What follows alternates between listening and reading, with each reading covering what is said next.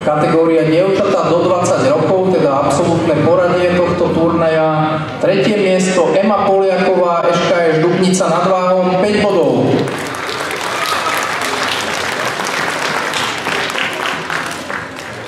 Druhé miesto Zuzana Tomčíková, to je Slovan Rajecké Teplice, 5 bodov. A majsterkou Slovenska sa stala Sofia Anna Cibiková, Eška junior CVČ Banská Bystrica, takisto 5 bodov.